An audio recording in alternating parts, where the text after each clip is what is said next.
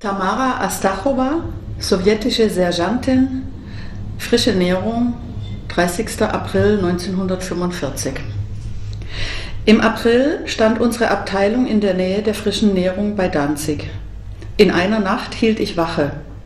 Plötzlich nahm ich schleichende Schritte hinter dem Haus wahr. Halt! Wer ist da? Es meldete sich niemand.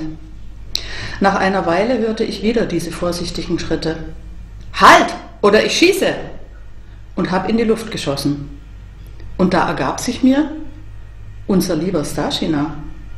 Er wollte angeblich bloß auf diese Weise meine Wachsamkeit prüfen, ob ich auf dem Posten nicht mal eingeschlafen bin. Und in der Hand hielt er seltsamerweise ein Kochgeschirr. Wieso denn? Komm, Baschkirova, qualmen wir eine, lud er mich ein. Und er erzählte mir, dass im Keller von einem benachbarten, zerbombten Haus eine deutsche Familie im Versteck sitzt. Eine Frau mit fünf Kindern. Der älteste Bube sei erst acht Jahre alt. Er habe das dem Koch von der Feldküche gesagt, damit die deutschen Kinder auch was zu essen kriegen könnten. Aber die SS-Leute hatten den Koch die ganze Familie und seine kleinen Söhne irgendwo bei Wolschansk erschossen.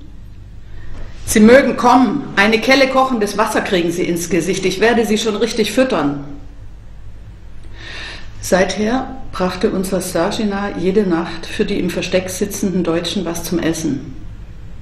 Illegal. Heimlich.